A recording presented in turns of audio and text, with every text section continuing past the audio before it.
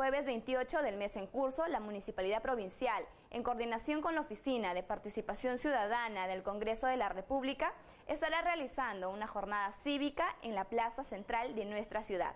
Se estará ofreciendo atención médica en diversas especialidades, consultas psicológicas, corte de cabello, entre otras. Eh, a iniciativa del despacho del congresista Mesías Guevara y en relación con la Oficina mm, de Participación Ciudadana del Congreso de la República y con la segunda vicepresidencia también del Congreso, se va a realizar una decimosexta jornada cívica llamada Módulo Perú. Módulo Perú es un programa que se viene realizando a nivel nacional y que en esta oportunidad, por iniciativa del congresista Guevara, se va a realizar en la provincia de Jaén.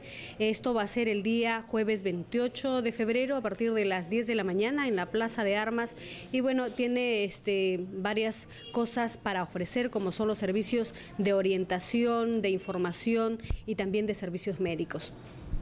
Además de estos servicios, también puede acceder quizás a otras orientaciones los ciudadanos en ese día.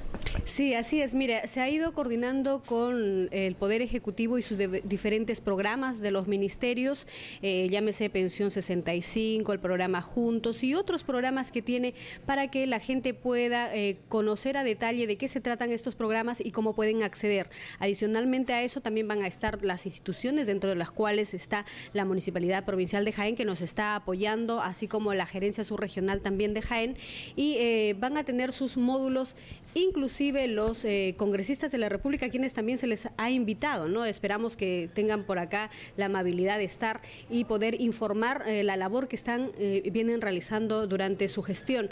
Así que, como vuelvo a repetir, van a haber servicios de atención gratuita, por ejemplo, los servicios médicos se van a atender en diferentes especialidades y también va a haber orientación psicológica y corte de cabello, entiendo, también para la gente de menores recursos. La población que menos acceso tiene es eh, la que habita en el área rural. ¿Se ha hecho la invitación? ¿De qué manera el Congreso llega a esta población?